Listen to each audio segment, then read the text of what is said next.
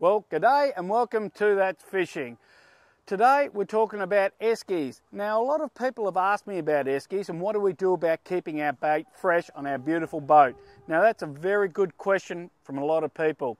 Now, in the past, we've struggled a bit by keeping our bait fresh as possibly can and frozen as long as possible. Also to do with our drinks, our food, um, combination of a lot of different things. Now, Techniice have come to the party for us, guys, and they have come up with this brilliant concept, this brand new esky. Now, let me explain why, and I have to show you this. This new esky is a double sealed esky. It's almost like your fridge at home. In fact, pretty much that close to it's not even funny. Now, what I'm going to show you is these two seals.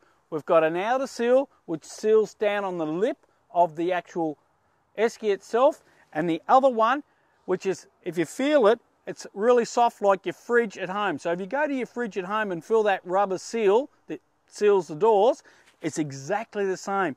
Now they are saying you can fill this thing up with ice, frozen bait, your drinks, whatever you need. If you're going camping or four-wheel driving, anything like that, you're putting it and it will last literally days and days and days. Because of this new concept, it keeps the cold in as long as possible.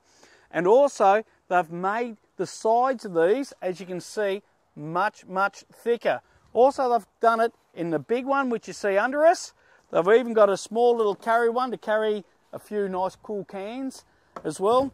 And of course, this beautiful little lunch box one. Now, this one. It's a soft bag, and what it is, it's silver inside, as you can see, and it's about an inch thick. And I've actually got um, padding or insulation inside this, and you can throw your cold drinks in it. At the end of the day, they're still frozen, they're still cold. It's really, really unbelievable.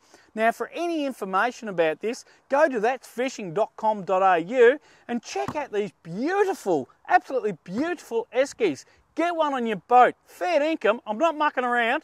Get one on your boat. I'm the Colonel from That's Fishing.